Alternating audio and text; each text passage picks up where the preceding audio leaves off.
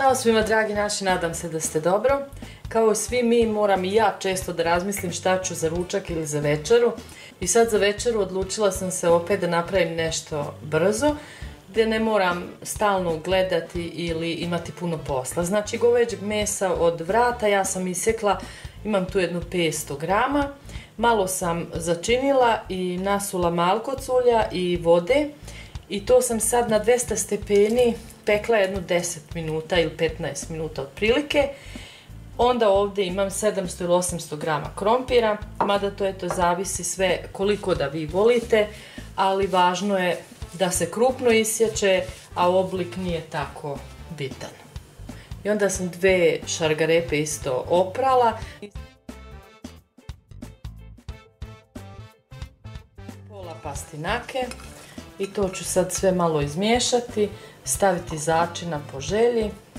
To može svako ko šta voli i kad se malo promeša opet ide u renu dole da se peče.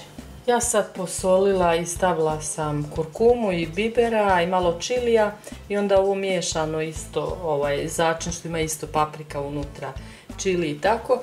I onda sam vidjela u frižderu da imam još dva ova mlada luka, bez zeleni pera, ali nema veze.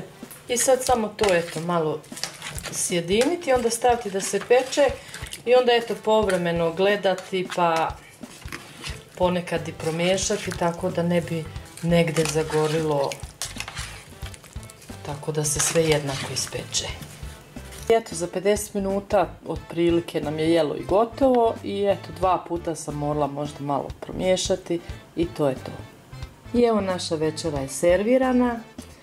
Nadam se da će vam se dopasti ova verzija ako niste već ovako pravili.